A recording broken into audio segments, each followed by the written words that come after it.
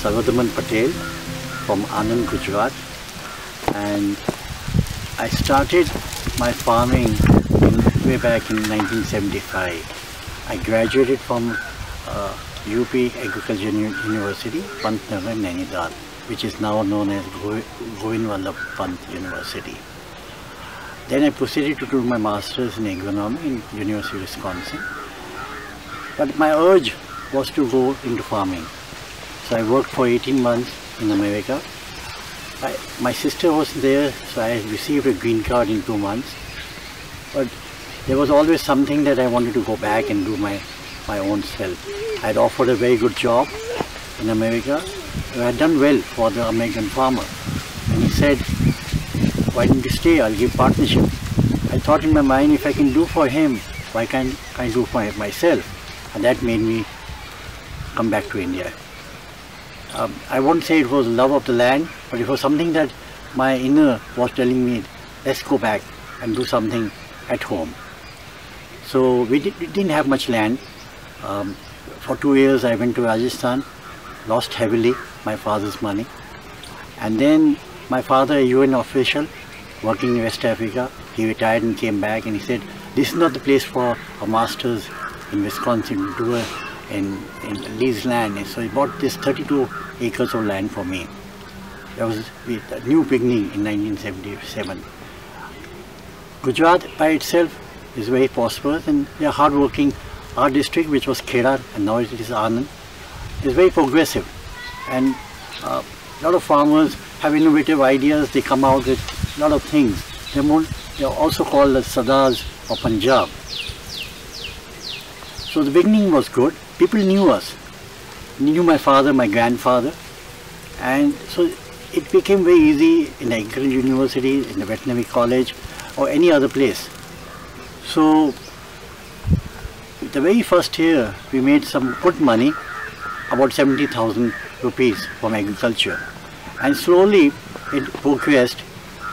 In course of three, four years, I became a tree planter. I planted trees from 1982 to way into 2006, about 8 lakh trees around Gujarat, mainly for Gujarat Electricity Board and many other small, um, not only small farmers, but also large farmers and corporates.